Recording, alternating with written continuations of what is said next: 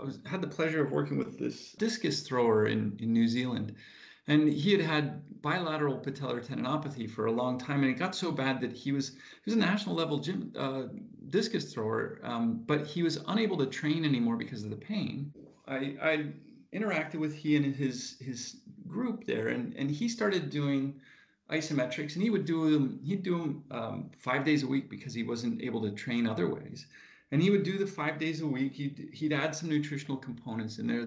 But what he would do is he would do kind of all he would do is take go to a, a leg extension machine and put the put the pin at the bottom, one leg at a time. Try and push as hard as he could to lift that weight.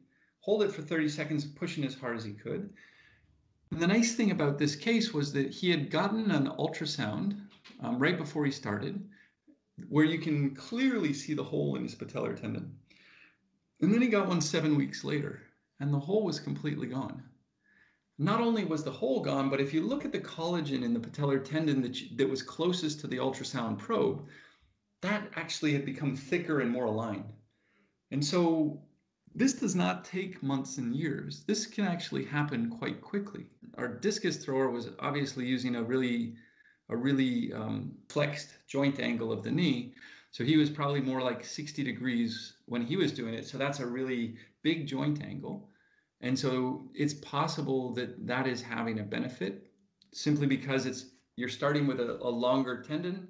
As you go through, through stress relaxation, you're going to get more load through the scar from a longer position than a shorter position. That's the idea, at least.